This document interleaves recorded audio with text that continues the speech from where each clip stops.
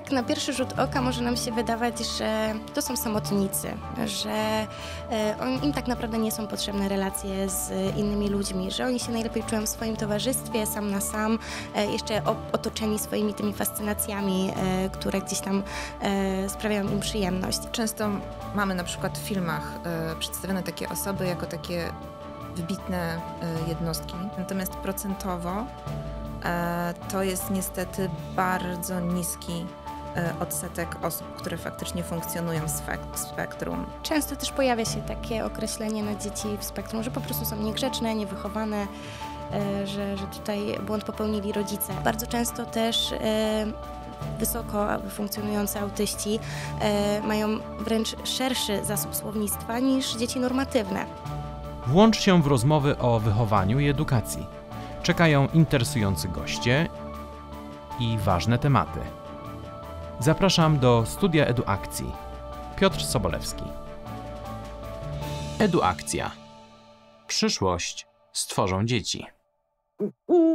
Witajcie w studiu Eduakcji. Ten odcinek poświęcimy faktom i mitom związanym ze spektrum autyzmu. A w studiu y, goszczę dziś y, Karolinę Zakrzewską oraz Martę Hojkę-Pawlinę, pedagogzki specjalne i oczywiście ekspertki Eduakcji. Dziewczyny, bardzo dziękuję za przyjęcie zaproszenia do naszego studia. Rozmawiać będziemy o faktach i mitach związanych z e, dziećmi w spektrum autyzmu i mam taką propozycję, że będziemy poruszać się w kilku takich ważnych obszarach. To znaczy, jak widzimy osoby w spektrum, przejdziemy następnie do y, obszaru komunikacji, do obszaru relacji społecznych i skończymy na predyspozycjach takich osób. Jak to jest, dziewczyny, z. Z tym, jak my widzimy y, dzieci w spektrum autyzmu najczęściej. Jako osoby, które nie znają się na tym, które nie miały do czynienia nigdy wcześniej z, z takimi osobami. E, taki pierwszy obraz, który mamy w głowie, to jest zazwyczaj dziecko, które płacze, krzyczy, mówi coś do siebie albo biega na przykład e, dookoła, nie wiem, dookoła przystanku, mhm. autobusu, w autobusie. E, to są dzieci, które sprawiają wrażenie niewychowanych. Mhm. Nie potrafiących dostosować się też do panujących ogólnie norm społecznych. E, będące też często wyizolowane, takie będące mocno osadzone w swoim świecie. Mhm. I też y, nad nimi zawsze jest rodzic, który sprawia wrażenie, że nie panuje nad sytuacją, która się dzieje. Mhm. To tak jakby y, mamy taki obraz, jak rozumiem, y, takiego dziecka no, y, w pełni dostosowanego, jakby niewychowanego, prawda? Mhm. Tak, tak i często też pojawia się takie określenie na dzieci w spektrum, że po prostu są niegrzeczne, niewychowane, mhm. że, że tutaj błąd popełnili rodzice, a nie, że mamy do czynienia z jakimś zaburzeniem. Jasne. A jak jest w rzeczywistości? A tak naprawdę to rodzice nie popełnili żadnego błędu. E, I mit zimnych matek, które nie umiały wychować swoich dzieci, już dawno został e, obalony na szczęście. E, te dzieci postrzegają świat w inny sposób. Nietypowy, ale nie zły, po prostu inny. Jak społeczeństwu bardzo często jest trudno zrozumieć perspektywę osoby będącej w spektrum yy, i to, że ona zupełnie inaczej odbiera yy, bodźce, które do niego docierają, zupełnie inaczej rozumie normy społeczne, zachowania, emocje yy, i właśnie przez to e, powoduje e, takie zachowania, Jasne. a społeczeństwo ma trudność ze zrozumieniem tego i oszacowaniem, co z czego tak naprawdę wynika. Tutaj też mamy do czynienia z taką dużą e, niewiedzą, nie? Mhm. Oczywiście. Czy to w takim razie rozumiem, że my widzimy już pewną konsekwencję ciągu zdarzeń, mhm. który buduje nam obraz tego dziecka, prawda? No bo jeśli ono już jest na etapie takiego mm, zachowania, który jest uznany za społecznie nieakceptowalny, e, na przykład krzyczy w autobusie, mhm. no to my już widzimy pewien efekt chyba, prawda? Że to nie jest tak, że ono cały czas takie jest. E, tak, bo mm, dopóki nie dzieją się te zachowania trudne, te dzieci w żaden sposób się nie wyróżniają. Mhm. Wizualnie nie ma żadnych różnic między dziećmi ze spektrum a dziećmi normatywnymi. E, fizycznie są zupełnie sprawne, nawet często e, ponad normę mhm. E, rozwojową. Natomiast w momencie, kiedy zwracają naszą uwagę, prawdopodobnie najczęściej są już przebodźcowane, bo dopiero wtedy pojawiają się jakieś zachowania trudne. Oczywiście przyczyn zachowań trudnych jest mnóstwo, ale tak. na przykład jedną z nich może być przebodźcowanie. Mhm. Ale jakby dopiero wtedy te, te zachowania zaczynają być uwolnione przez te dzieci. Jasne. Czyli mamy pierwszy mit, że widzimy te dzieci jako no, najprościej mówiąc niewychowane, niewychowane. a wcale tak nie jest, prawda? E, drugi mamy, że rodzice, no tak, że matki y, były zbyt Zimny zimne, zimne. Tak. Dobrze, przejdźmy do obszaru komunikacji. Co w obszarze komunikacji y, jest y, najzwyczajniej w świecie mitem? No tutaj najczęściej spotykamy się z y, takim określeniem, że autystycy nie mówią, mhm. co jest kompletnym mitem. I faktem jest to, że mowa u dzieci w spektrum autyzmu bardzo często rozwija się z opóźnieniem. Tak? I faktycznie tutaj te dzieciaki często w wieku dwóch, trzech, czterech lat, gdzie dziecko normatywne już zaczyna komunikować się z otoczeniem, e, tak tutaj dzieci w spektrum e, zaczynają troszkę później tą komunikację, ale to wcale nie jest powiedziane, że nie będą mówić w ogóle. Bardzo często też e, wysoko funkcjonujące autyści mają wręcz szerszy zasób słownictwa niż dzieci normatywne. Mhm. Zwłaszcza jak mają jakieś swoje fascynacje, w które jakby podążają za ich zainteresowaniami, wtedy znają absolutnie całą, cały słownik dotyczący dotyczący tego danego tematu. Tak, i tak naprawdę I często... o danym temacie mogą rozmawiać godzinami, tak? I wręcz mhm. nas zagadywać. Mhm. A jednak społeczeństwo myśli, że autystyk to jest po prostu dzieciak, który nie mówi. Często mhm. też tak wśród dorosłych chyba jest, tak mi się wydaje przynajmniej, w gronie znajomych nieraz słyszy się, że on tak mało mówi, to pewnie mhm. autystyk, nie? Tak krzywdząco tak, tak. się oczywiście o tym y, wyrażając, natomiast jakby troszeczkę tak za tym, y, z, za tym to się ciągnie. Ale jak to jest w takim razie, jaka jest prawda? Że oni po prostu później nieraz rozpoczynają w ogóle mówić, tak? To znaczy faktycznie jest grupa dzieci ze spektrum autyzmu, która nigdy nie mówiła i nie będzie mówić. Mhm. Natomiast jakby y, objawy spektrum są bardzo różne, dlatego mamy grupę dzieci, które w ogóle nie mówią, mamy grupę dzieci, które trochę mówią, a mamy grupę dzieci, która ma bardzo rozbudowany słownik ponad swoją normę rozwojową. Mhm. Zatem przejdźmy do teraz do, do, do kolejnego, y, do relacji społecznych. Jak to z nimi jest? No tak, na pierwszy rzut oka może nam się wydawać, że to są samotnicy, że e, on, im tak naprawdę nie są potrzebne relacje z innymi ludźmi, że oni się najlepiej czują w swoim towarzystwie, sam na sam, e, mhm. jeszcze otoczeni swoimi tymi fascynacjami, e, które gdzieś tam sprawiają im przyjemność. Natomiast bardzo często dzieci te czerpią radość z bycia w grupie, z przebywania w, wśród znajomych, z jakichś aktywności grupowych, tylko po prostu nie mają narzędzi i umiejętności do nawiązywania tych relacji społecznych. Po prostu najzwyczajniej w świecie nie wiedzą, jak to robić. Dlatego mhm. sprawiają wrażenie takich trochę wyalienowanych. Mhm. mhm. Albo właśnie przejawiają zachowania znowu trudne, bo im się wydaje, że jeśli uderzą jakieś dziecko, to to będzie wstęp do wspólnej zabawy, tak? One, mhm. oni nie rozumieją, jak można zacząć wspólną zabawę i trzeba jakby takich zachowań po prostu nauczyć. Jasne, czyli y, myślimy, że to są y, osoby nielubiące relacji z innymi, a okazuje się, że często wynika to z tego, że nie mają odpowiednich narzędzi, narzędzi. tak? Mhm, że nie tak. mają wiedzy na temat tego, jak to w szczególności dzieci, prawda? No bo dorośli to już mają jakiś zasób doświadczeń i mhm. czasu, w którym mogą się tego nauczyć, a dzieci to często no, zaczynają dopiero zaczynają. tą swoją przygodę, tak? I to jest też często działanie metodą prób i błędu. Właśnie tak jak mhm. Marta powiedziała, uderzę koleżankę, to może to będzie fajny początek na e, zabawy, tak? Do nawiązania mhm. relacji. I oni mhm. w ten sposób uczą się tego, jakie reakcje e, mogą wzbudzać ich zachowania. No tak, ale często takie zachowanie no, powoduje utrwalenie się takiego mitu, prawda? Że to mm. są dzieci niedostosowane i no po prostu najzwyczajniej w świecie jeśli już reagują, to tylko w taki sposób, a normalnie bawią się same i nie chcą uczestniczyć w zabawach. Wiesz co, trochę tak jest, ale jakby to z kolei wynika z niewiedzy y, społeczeństwa. Mhm. Gdyby były prowadzone kampanie społeczne, które by uświadamiały ludzi, to odbiór osoby z niepełnosprawnością, każdą, byłby zupełnie inny. Oczywiście. I byśmy nie tonęli w stereotypach.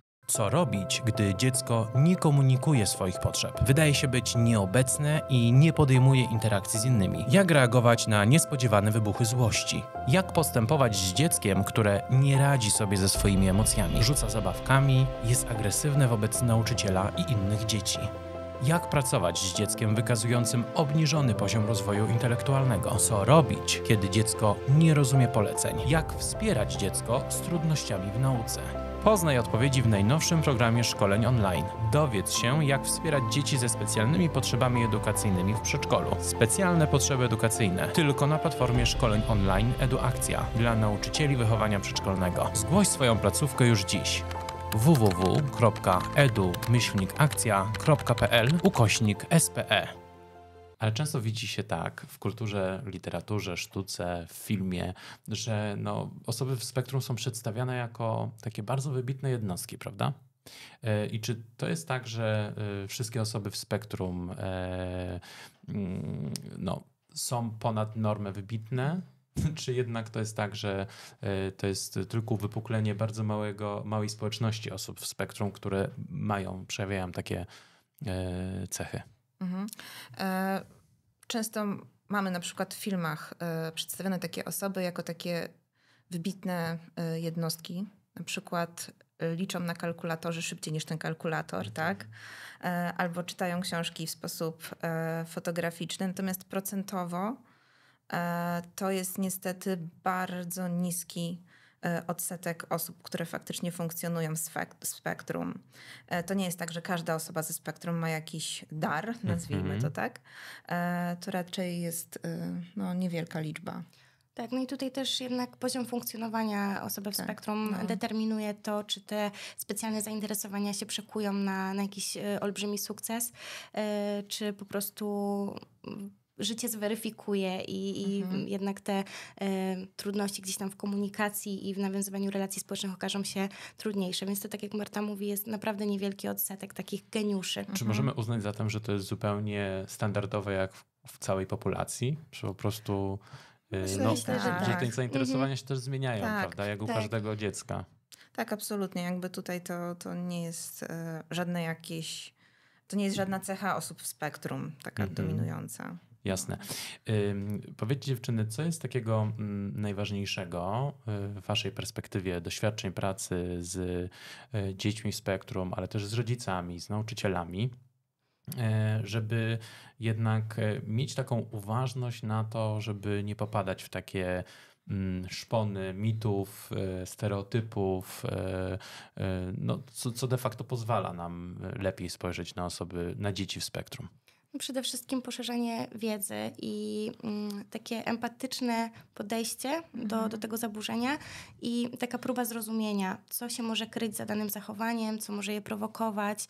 E, próba trochę właśnie wejścia w skórę tego dziecka i zastanowienia się, e, okej, okay, skoro ono widzi świat inaczej, to może ja się zastanowię, jak ono może widzieć, widzieć ten świat. Mhm. Tak, trochę też taka rola detektywa tak naprawdę, o co tak. mu chodzi, bo to jakby każda awantura, która z punktu widzenia dla nas jest płaczem o nic, mhm. kryje ze sobą jakąś potrzebę, często bardzo podstawową, tak? Na przykład?